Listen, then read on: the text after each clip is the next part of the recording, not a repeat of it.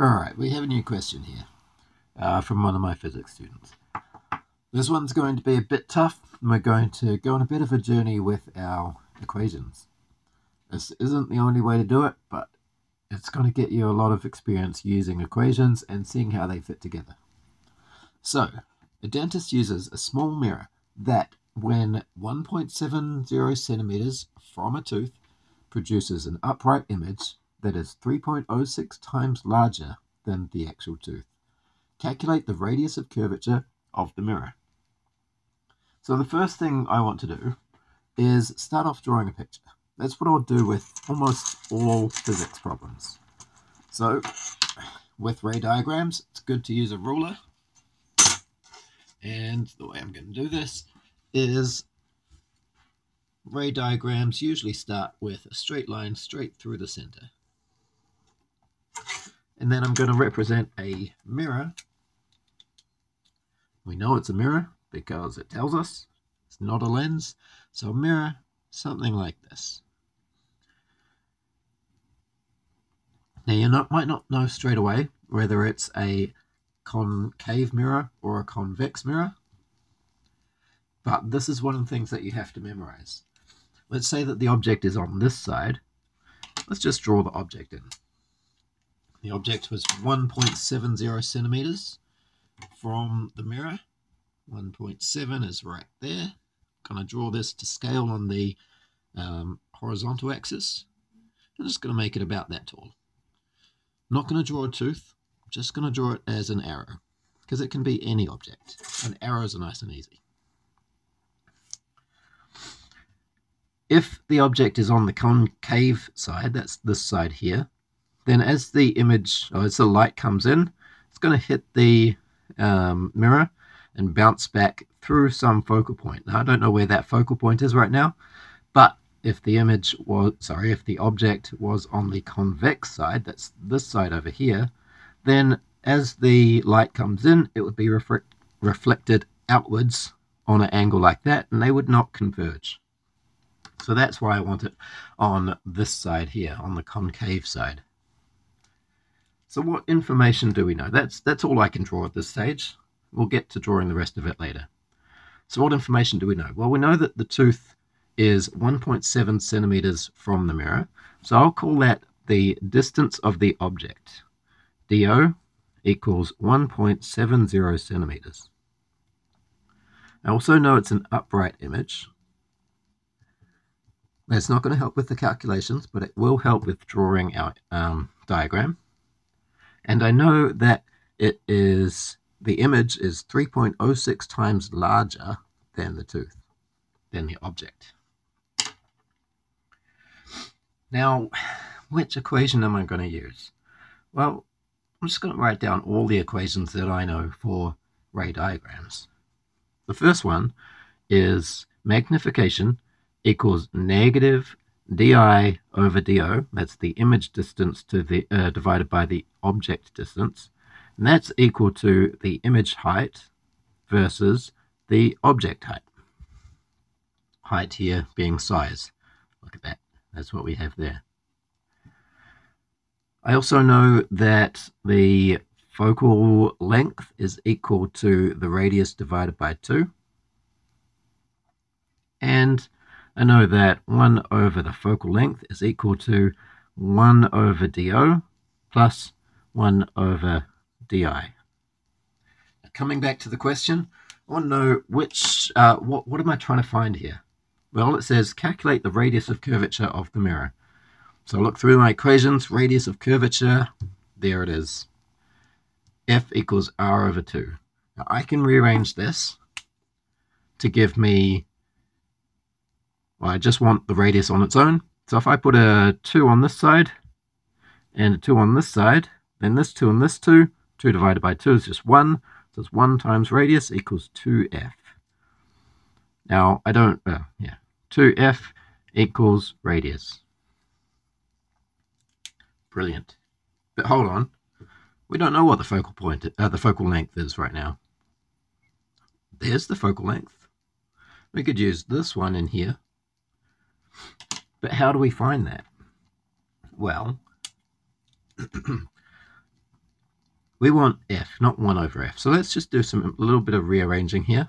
We get 1 over f equals, well, on this side, I want a common denominator. Now, the easiest common denominator, the easiest way to find a com common denominator, is to multiply these two together. So, what happens if I do d o d i on the bottom there? Just looking at this first one. Now, I want this to equal this. So this has to be 1 over do.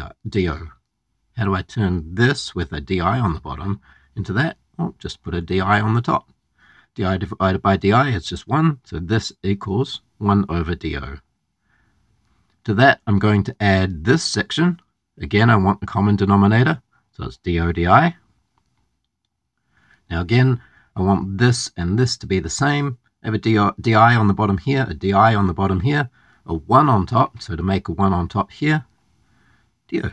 do divided by do, that's just 1. So it's 1 over di.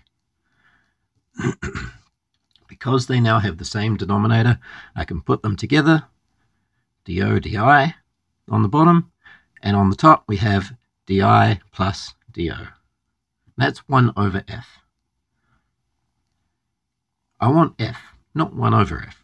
So now that they have a common denominator and it's just one fraction, I can flip this upside down, giving me f equals do di over di plus do. Now, I couldn't do that before up here. I can't just go f equals do plus di. That doesn't work, as we see down here. It's different. So we have to give them, the, we have to put it into one fraction before we can flip it. So, do we know everything in here? We know DO, that's 1.7. We know DO, that's 1.7. So these two we know. DI, oh, hold on, we don't know that, do we? There's a DI. Let's see if we can use that one. Again, I'm going to take this formula, I'm going to rearrange it. So I'm just going to leave the M off for now and just look at these bits here. So this gives us uh, negative di over do equals hi over ho. I know what do is. That's 1.70. And I know that the image height is 3.06 times the height of the object. Do I know the height of the object in centimeters? No. So I'll just call it one, two, one tooth high. So units of teeth. One height of the object, 3.06 height image. That gives us negative di equals, well, I want to get rid of this, so times both sides by do. It gives me hi over ho times do. Can I figure this out now? Well, the image height is 3.06 times larger than the object height. DO is 1.70 centimeters. And that's pretty much it. Now you notice at this point I haven't picked up a calculator at all. All I've done is just look at my equations. And it wasn't till that last bit that I started putting numbers in either. It was all rearranging.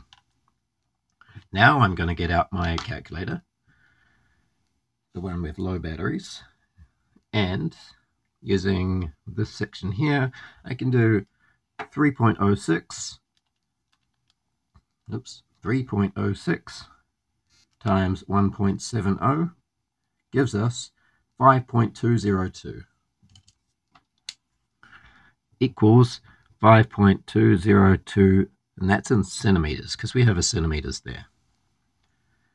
So that tells us that negative di equals, that's a negative there, 5.202. So di must be equal to negative 5.202 centimeters. Take a look at our, our image up here. negative 5.202. What does negative mean? Well, this here, where the object exists, that's where the actual tooth is. This is our real side. Anything on this side is positive. Our image, though, is virtual. it's on this side, and we can tell because of that negative. So I'm going to take out my ruler, measure out 5.202. That's right about there. So I know that my distance to my object is going to be right there. But what's my height? Well, if this is a height of 1, then this must be a height of 3.06. So I'll just measure this. I put this as 4 millimeters. So this one must be 3.06 times that, which is around about 12 millimeters. Carefully drawing that in. 12 millimeters, whoops, right there.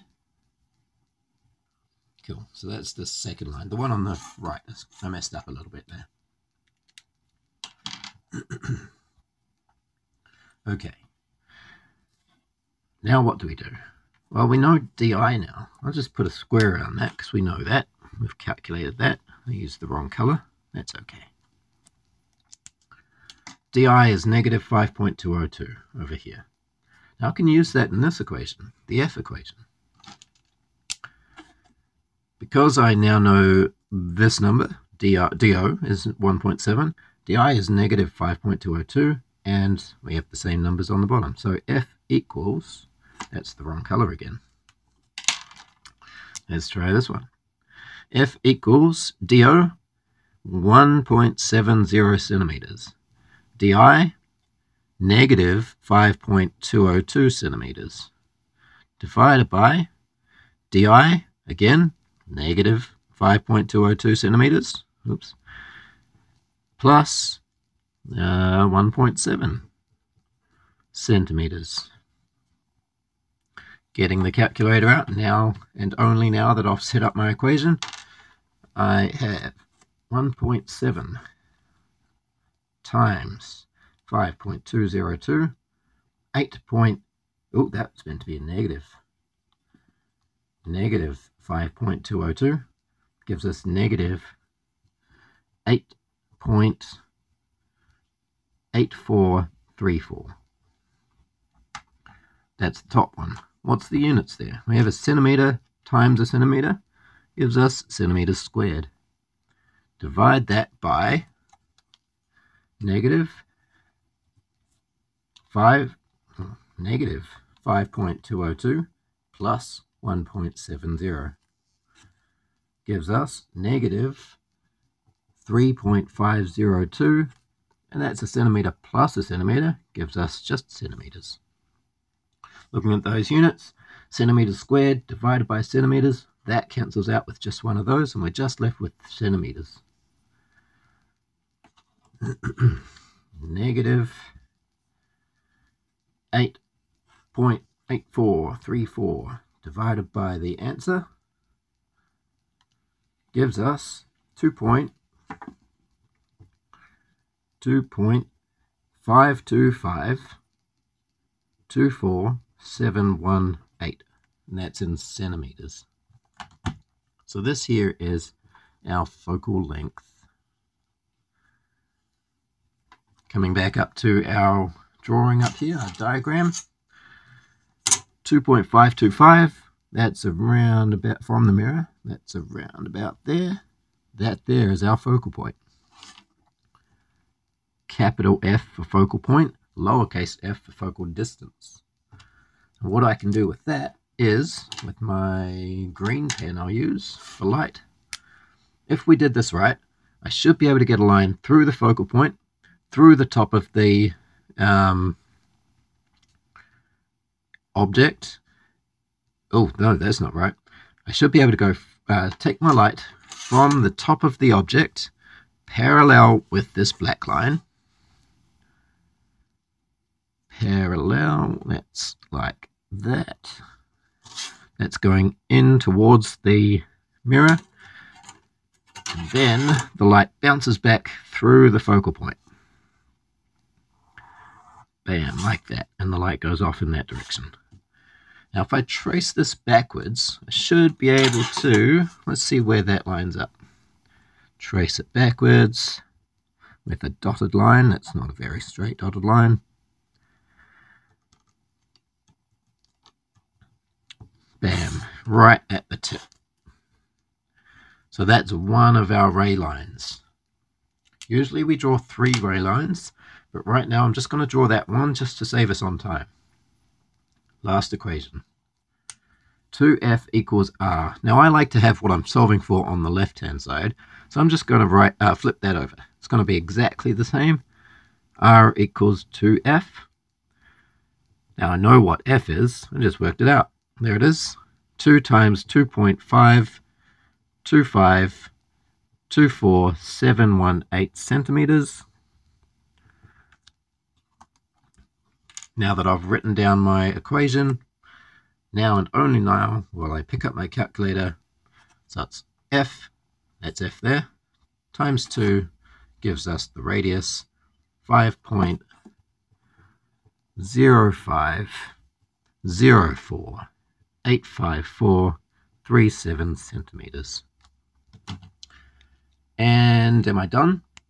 I am not done because the question numbers in the question we have three significant figures.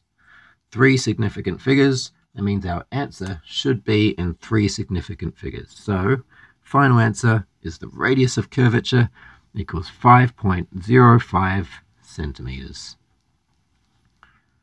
Now, it's really important that I don't round to three significant figures until the end. I'll show you why. If I'd rounded this one here to three sig figs, we would have had 2 point, well, 3 sig figs would be 5, 3, times that by 2 to give us the radius, 5.06 centimeters, and that's, sorry, you can't see that, and that is the wrong answer. Alright, hope that was fun. Any questions or comments or complaints, leave them in the comment in the comments below.